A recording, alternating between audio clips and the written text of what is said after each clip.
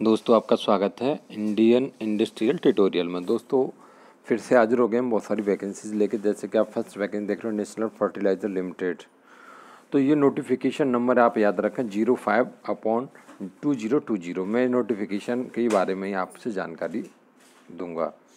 तो यहाँ पर आप देख रहे हो मैनेजमेंट ट्रेनिंग के लिए वैकेंसीज़ है। जहाँ पर केमिकल के लिए वैकेंसीज़ है चार वैकेंसी है रिज़र्व में तीन ओबीसी के लिए एक है।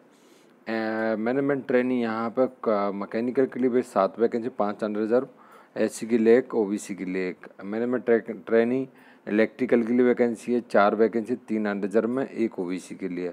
मैनेजमेंट ट्रेनिंग इंस्ट्रूमेंटेशन के लिए वैकेंसी है, पाँच वैकेंसी है, जिसमें से अंडर रिज़र्व में चार, एक ओ बी सी के लिए। नेक्स्ट बात करूँ तो मैनेजमेंट ट्रेनिंग केमिकल लैब के लिए वैकेंसी है, सात वैकेंसी, पाँच अंडर रिज़र्व, एक एस सी और एक ओ बी सी के लिए है। नेक्स्ट बात करूँ तो मैंने मैं ट्रेनिंग फायर एंड सेफ्टी के लिए दो वैकेंसी दोनों अनरिजर्व में इस तरीके से यहाँ पर वैकेंसी दिया हुआ है। तो यहाँ पर बात कर लें कि यहाँ पर क्वालिफ़िकेशन क्या क्या है। तो मैंने मैं ट्रेनिंग केमिकल के लिए यहाँ पर एज लिमिट जो है, वो सत्ताईस ईयर रखी गई है। और full time regular engineer degree B E B tech B S C engineering in chemical engineering और केमिकल टेक्नोलॉजी चलेगा, साठ परसेंट के साथ होना चाहिए। या आपके पास A M I E in chemical engineering ऐसे दोस्तों मैकेनिकल वालों के लिए यहाँ पर एज लिमिट वही है, लेकिन रिलेटिव होना चाहिए ब्रांचेज क्वालिफिकेशन सेम है। नेक्स्ट बात हूँ इलेक्ट्रिकल के लिए भी सेम है। इंस्ट्रूमेंटेशन के लिए भी यही क्राइटेरिया सेम है। और यहाँ पे बात करूँ सिविल के लिए भी सेम है और केमिकल लैब के लिए यहाँ पे जो क्वालिफ़िकेशन है, वो एमएससी केमिस्ट्री मिनिमम साठ परसेंट के साथ मांगा गया और management training fire and safety के लिए full time degree BTech BE fire engineering safety and fire engineering भी साठ परसेंट के साथ या आपके पास full time degree BTech BE BSc engineering electrical mechanical chemical और with divisional officer course from N F S C Nagpur with minimum साठ percent साथ board degree in engineering and divisional को ऑफिसर कोर्स तो यहाँ पे जो आपका course है, वो फुल टाइम रेगुलर होना चाहिए तो ये आपको यहाँ पे काउंट किया जाएगा। अगर आपका डिस्टेंस लर्निंग है तो आपको यहाँ पे काउंट नहीं किया जाएगा। बाकी की चीज़ें यहाँ पे बता दी गई जिन्हें आपको खुद से पढ़ना है। जो छोटी छोटी चीज़ें हैं उनसे आपका रिजेक्ट किया जा सकता है इसलिए अच्छे से पढ़ लें। मैं आपको बता भी दूँगा ये नोटिफिकेशन आपको कहाँ मिलेगा। ये जो आपको कट ऑफ़ डेट है वो दोस्तों आपको तीस ग्यारह दो हज़ार बीस के हिसाब से काउंट जाएगी। यहाँ पे एप्लीकेशन भी सात सौ रुपये रखा गया है आ, प्लस बैंक चार्ज ठीक है?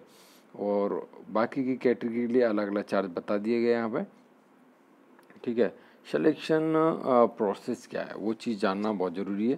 तो यहाँ पे जो सिलेक्शन प्रोसेस है दोस्तों, वो आपका पहले डिपेंड करेगा आपने फॉर्म को कैसे भरा है। अगर आप यहाँ पे इस तरीके से दिया हुआ है, इस तरीके से भरते हो तो आपको फ़र्स्ट जो है वो रिजेक्शन नहीं होगा। यहाँ पे बता दिया गया है कि आपका एप्लीकेशन 22 बारह 2020 से स्टार्ट हो चुका है, जो आपको N A T I O N A L F E R T I L I J D R S dot com पर जाना है, उसमें कैरियर उसमें रिक्रूटमेंट्स एन एफ़ एल में जाना है उनमें जो recruitments of management training in technical में जाना है, दो हज़ार बीस। जहाँ पर दोस्तों इसका लास्ट डेट है इक्कीस, एक दो हज़ार इक्कीस साढ़े पाँच बजे तक। ठीक है, ये सारे क्राइटेरिया आपको फुल फिल करने हैं। फिर नेक्स्ट स्टेप है ऑनलाइन टेस्ट होगा उसके हिसाब से। तो यहाँ पे ऑनलाइन टेस्ट के लिए बहुत सारी जगह कंडक्ट की गई हैं। जैसे जम्मू कश्मीर, भोपाल, चंडीगढ़, दिल्ली एनसीआर लखनऊ हैदराबाद, अहमदाबाद, बेंगलुरु, भुवनेश्वर, चेन्नई, जयपुर, गुवाहाटी, मुंबई, रायपुर, रांची, कोची, विजयवाड़ा। तो इस तरीके से यहाँ पे कंडक्ट की गई हैं। और बाकी की छोटी छोटी जानकारी यहाँ पर दी गई, उन्हें आपको खुद से पढ़ना है कि आपको किस तरह कट ऑफ़ होगा। उसके बाद यहाँ पर पर्सनल इंटरव्यू होगा, ठीक है? तो आपका ये फाइनल सिलेक्शन कैसे कैसे होगा? ऑनलाइन टेस्ट का 80 परसेंट पर्सनल इंटरव्यू का 20 परसेंट ऐड होगा। इस तरीके से 100 परसेंट आपका होगा ऐड। तो यहाँ पे आपको कितना पेमेंट मिलेगा, कितना मिलेगा, वो जानकारी भी यहाँ पे दी गई है। ठीक है? यहाँ पर क्या क्या किस किस कैटेगरी को क्या क्या छूट दी गई हैं, वो चीज़ें सारी यहाँ पर नोट में बता दी गई हैं। उनके लिए आपको सारी अच्छी तरीके से पढ़ना रहेगा। तो यहाँ पे अप्लाई करने से पहले आपको क्या क्या करना रहेगा? तो कितना एक ईमेल आईडी होना चाहिए आपके पास और वो फोटोग्राफ होना चाहिए, वो सारी चीज़ें यहाँ पे बता दी गई हैं, कितने के में होना चाहिए, कितना डेटा रहना चाहिए और साइज़ क्या रहना चाहिए, वो चीज़ यहाँ पे आपको बता दी गई जनरल इंस्ट्रक्शन दी गई जिनको आपको फॉलो करना अच्छे से, जिन्हें आपको पढ़ के अच्छी तरीके से और इसे फॉलो करना है। तो मैं आपको लेके चलता हूँ इसकी ऑफिशियली वेबसाइट पे, जहाँ से आपको ज़्यादा से ज़्यादा इसके बारे में जानकारी प्राप्त हो तो दोस्तों, देख रहे होगे आप, मैंने ऑफिशियली वेबसाइट इसका खोल लिया नेशनल फर्टिलाइज़र्स डॉट कॉम तो यहाँ पे मुझे कहाँ पे जाना रहेगा? मैंने आपको ऑलरेडी बताया था, मेरे को जाना रहेगा कैरियर में। यहाँ पे देखो कैरियर आपको दिख रहा होगा, इसे प्रेस कर देना, मैं आपके सामने प्रेस कर देता हूँ। मैंने इसे प्रेस कर दिया, मेरे सामने एक नया इंटरफेस ओपन हो गया। मैं यहाँ पर नीचे जाता हूँ तो यहाँ पर देखो, मैंने आपको पता था रिक्रूटमेंट्स इन एन देखो, यहाँ पर लिखा हुआ है। तो मुझे इसे प्रेस कर देता हूँ, मैं आपके सामने, मैंने इसे भी प्रेस कर दिया है। अब मेरे सामने एक और नया इंटरफेस ओपन हो गया। है तो मैंने आपको बताया तो उसके बाद आपको मैनेजमेंट ट्रेनिंग टेक्निकल वाला दिखेगा। तो देखो, ये वाला मेरे को दिख चुका है, मैं इसे प्रेस कर देता हूँ, मैंने इसे प्रेस कर दिया है। अब मेरे सामने कुछ इस तरीके का इंटरफेस आ गया तो यहाँ पे आपको देखो एडवर्टीजमेंट मिल गया और अप्लाई ऑप्शन मिल गया। तो मुझे अप्लाई करना है एडवर्टीजमेंट डाउनलोड करना है तो एडवर्टीजमेंट डाउनलोड करके अच्छे से पढ़ सकते हैं अप्लाई करना है तो डायरेक्ट अप्लाई पे प्रेस कर सकते हैं। डायरेक्ट अप्लाई पे प्रेस करने के बाद आपको यहाँ पे अपनी mail ID, date of birth, सारी चीज़ें भरते हुए आगे बढ़ जाना जैसे रजिस्टर करना है तो रजिस्टर, लॉगिन करना है तो वहाँ से लॉगिन। जैसे मैं रजिस्टर करना है तो मुझे किसके लिए करना है? तो मुझे जैसे केमिकल लैब के लिए करना है कैटेगरी का क्या डालना है जनरल डालना जो भी डालना है आगे आगे, हम यहाँ पे सेंड ओ टी पी सारी डिटेल्स यहाँ से continuous one by one step सारी जानकारी देते रहेंगे। जैसे जैसे ये माँगता रहेगा। तो दोस्तों नेक्स्ट नोट वैकेंसी की तरफ़ बढ़ते हैं। Next vacancy O P T C L में है। यहाँ पे दोस्तों आप देखोगे तो डिग्री एंड टेक्नीशियन मतलब डिप्लोमा, अप्रेंटिस के लिए वैकेंसी है। यहाँ पे 2018 19 20 के पास आउट ही यहाँ पे पढ़ सकते हैं।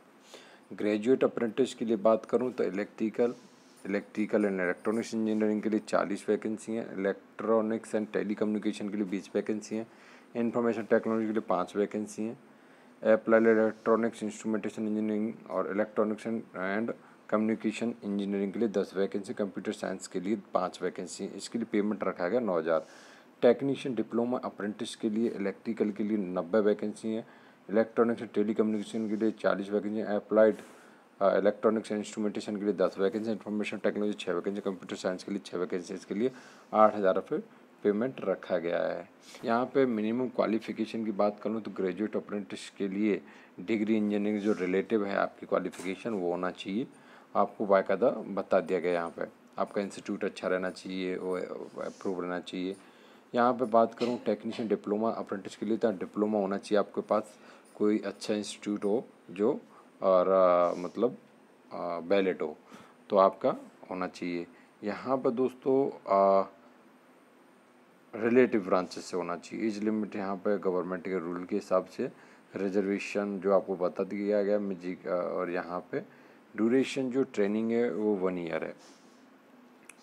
यहाँ पे सिलेक्शन जो प्रोसेस है, वो यहाँ पर दोस्तों फाइनल जो है सिलेक्शन है, वो आपका सर्टिफिकेट वेरिफिकेशन और personal interview by O P T C L उसके हिसाब से होगा। बात आता है कि आप एप्लीकेशन कैसे सबमिट कर सकते हैं तो वो चीज़ यहाँ पर अच्छे से समझाई गई, आप देख पा रहे होगे। मैं थोड़ा इसे जूम करके अच्छे से दिखा देता हूँ, ठीक है? तो जिससे आपको दिक्कत ना हो। तो आप यहाँ पर देख पा रहे होगे कैसे कैसे आपको लॉगिन करना है, फिर वहाँ पहुँचना है, कैसे कैसे आप अप्लाई कर पाओगे। वो सारी चीज़ें यहाँ पर बता दी गई हैं कि आप अगर किसके लिए अप्लाई कर रहे हो, उसके लिए अप्लाई कर रहे हो तो यहाँ से अप्लाई कर पाओगे, उसके लिए अप्लाई कर रहे हो तो अब मतलब बता दिया गया, आप देख पा रहे हो। तो नेक्स्ट जो सारी जानकारी हैं, वो दे दी गई हैं। इसका जो एक्टिविटी है, वो दोस्तों छः पूरी बता दिए गया कि declaration of short listed candidate छः एक, दो हज़ार इक्कीस, वो सारी चीज़ें यहाँ पे बता दी गई है। इंटरव्यू शॉर्ट लिस्टेड कैंडिडेट तेरह, एक, दो हज़ार इक्कीस लास्ट है। और यहाँ पे पब्लिक वो पंद्रह एक, दो हज़ार इक्कीस बता दी गई है। फाइनल लिस्ट जो आ जाएगी आपकी। तो यहाँ पे बिफोर पाँच जनवरी जो आपको रजिस्ट्रेशन करना है, पाँच जनवरी 2021 से पहले पहले करना रहेगा। आपके इसके ऑफिशियली वेबसाइट पर भी जा सकते हैं O P T C L dot co dot in पर ठीक है? तो यहाँ पे सारी चीज़ें बता दी गई उन्हें आपको खुद से पढ़ना रहेगा। कोई भी जानकारी चाहिए तो यहाँ पर ऑफिशियली मेल आईडी दी गई है, जिस पर आप जा सकते हैं। तो इसी कंपनी में गेट के थ्रू भी वैकेंसी निकली हुई है, जिसका लास्ट डेट है अट्ठाईस बारह दो हज़ार बीस। ठीक है? जो मैनेजमेंट ट्रेनिंग इलेक्ट्रिकल के लिए वैकेंसीज़ हैं, आपको बता दी गई हैं। मैं आपको इसका पूरा बता देता हूँ, शॉर्ट में ही और भी वैकेंसीज़ हैं तो भी मैं आपको यहीं पे बता देता हूँ। ठीक है, आप यहाँ पर पढ़ लें, यहाँ पर degree electrical electrical and electronics engineering साठ परसेंट के साथ मांगा गया है। आपका गेस का जो गेट स्कोर यहाँ पर काउंट होगा। एज लिमिट पर बता दी गई है सारी जानकारी यहाँ पर दे दी गई हैं। देख सकते हो आप। तो मैं आपको लेके चलता हूँ डायरेक्ट इसकी ऑफिशियली वेबसाइट की तरफ़, जहाँ पर आप इजीली इसकी जानकारी ज़्यादा से ज़्यादा प्राप्त कर पाओगे। यहाँ पर जो है फ़ी रखी गई है हज़ार रुपये और पाँच सौ रुपये। मतलब हज़ार रुपये अनरिजर्व और एस सी के लिए S C S T P W के लिए पाँच सौ रुपये रखी गई है। इंस्ट्रक्शंस यहाँ पर दी गई हैं। तो अप्लाई यहाँ पर देखो, इस तरीके से करना है, पूरा बता दिया गया है। तो मैं आपको कितना डेटा कितना स्ट्रक्चर का, जो सिग्नेचर है फ़ोटो का डेटा होना चाहिए, वो यहाँ पे बता दिया गया आपको। तो यहाँ पे जो सारी जानकारी दी गई है और फाइनली यहाँ पर डेट बता दी गई ऑलरेडी मैं बता चुका हूँ तो मैं आपको लेके चलता हूँ ऑफिशियली वेबसाइट तो मैंने सबसे पहले सर्च किया O P T C L जहाँ से मैं जाता हूँ न्यू ओपनिंग तो न्यू ओपनिंग की तरफ़ जा रहा हूँ मैं। तो न्यू ओपनिंग देखता हूँ मैं तो यहाँ पे मुझे दिखता है कुछ इस तरीके का। मैनेजमेंट ट्रेनिंग इलेक्ट्रिकल तो मैं इसे अप्लाई पे प्रेस कर देता हूँ। जैसे मैंने अप्लाई प्रेस किया तो यहाँ पे मुझे मैनेजमेंट ट्रेनिंग इलेक्ट्रिकल दिखता है, जिसका लास्ट डेट ये है तो मैं आप अप्लाई कर सकता हूँ। अप्लाई का ऑप्शन मुझे बैक दिख रहा है। ठीक है?